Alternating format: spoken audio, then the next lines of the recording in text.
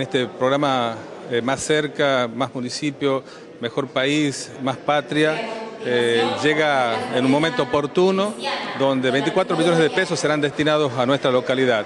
Entre las obras más relevantes este, llevamos adelante obras de pavimento articulado, obras de cordón cuneta, eh, reconversión de espacios verdes, eh, obras de cloaca, saneamiento ambiental y la verdad que llegamos a sectores de la, provincia y también del municipio de la ciudad de Tafí donde todavía teníamos una deuda con muchos de los vecinos de nuestra ciudad. Eh, tiene este complemento que la, mano de obra va a ser local y también las, este, las empresas contratadas van a ser también del sector y que van a reactivar rápidamente eh, la mano de obra que necesita los distintos sectores de la ciudad y por supuesto va a llevar tranquilidad a muchos vecinos que hace mucho tiempo vienen reclamando por las distintas obras en nuestra ciudad.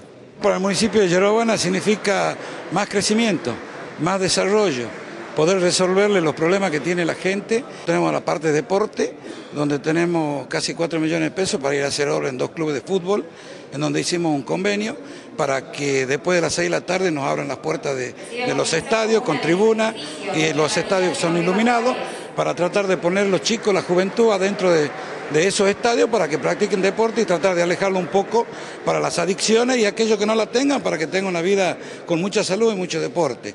Lo más grueso que nosotros hemos presentado en un proyecto global de 22 millones 150 mil pesos, van casi cerca de 9 millones de pesos para la recuperación de las 32 plazas que tiene Yerba Buena, la vamos a, a ponerla para que el vecino vuelva a usar los espacios públicos, recupere esos espacios que es de uso en común. Un pueblo en el interior de que la verdad que en un barrio de Matienzo, del cual nunca las obras llegaban para este lugar, eh, estaban sufriendo con el tema del agua. Niños que tenían que salir a la escuela en, el tiempo de lluvia no podían acceder a la escuela por, por las calles. Yo tengo también cordón cuneta, 3.000 metros de cordón cuneta, que son las primeras obras que estoy realizando con un pozo surgente, de las cuales el impacto más fuerte es ahora en la época de, lluvia, en la época que los chicos van a la escuela, podrán salir tranquilamente a la escuela. Es un impacto importante para la sociedad, ¿no? Esto viene impactando hace un tiempo ya en lo que es en cada uno de nuestros hogares, en cada uno de nuestros municipios. Y puntualmente en Montero, ¿no? donde Montero se ha anunciado, anunciaban muchas obras, se anunciaban rutas importantes y nadie las hacía.